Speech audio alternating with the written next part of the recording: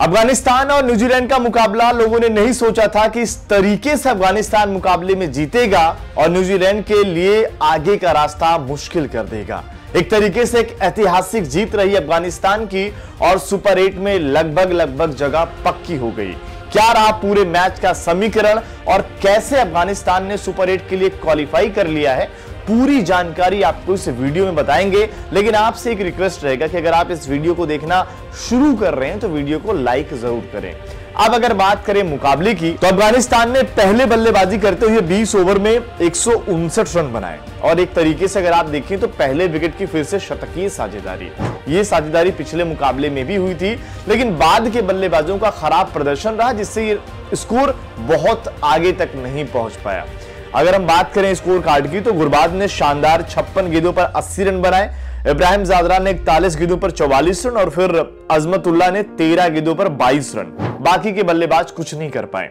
वहीं न्यूजीलैंड से बोल्ट ने दो विकेट ज़रूर लिए। लेकिन जब बारी आई रन को चेस करने की तो फिर वहाँ पर न्यूजीलैंड की टीम जो है वो सिर्फ़ पचहत्तर रनों पर ऑल आउट हो गई। आप यकीन नहीं करेंगे, लेकिन पचहत्तर रनों पर न्यूजीलैंड की टीम 15 ओवर दो गेंदों पर सिमट गई। उनकी तरफ़ से ग्लेन फिलिप्स ने 18 गेंदों पर 18 और मैट हेनरी ने 17 गेंदों पर 12 रनों की पारी खेली, बाकी कोई बल्लेबाज इससे आगे नहीं बढ़ पाया। गेंदबाजी की बात करें तो अफ़गानिस्तान की तरफ़ से फजल फारूकी ने 17 रन देकर चार विकेट लिए।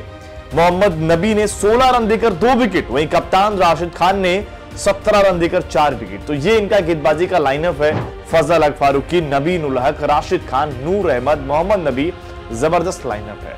अब यहाँ से क्या मामला है कि अफ़गानिस्तान अब तक अपने दो मुकाबले जीत चुका है। और वहीं जो ग्रुप सी का पॉइंट्स टेबल है, वो कहीं ना कहीं अफ़गानिस्तान के पक्ष में जाता है। अगर आप इस समीकरण को देखें तो दो मुकाबलों में अफ़गानिस्तान की दो जीत के साथ चार पॉइंट है और उनका जो रन रेट है, वो प्लस फाइव में है। वहीं अगर आप देखिए वेस्टइंडीज एक मुकाबले में एक जीत है, उनके दो पॉइंट्स है।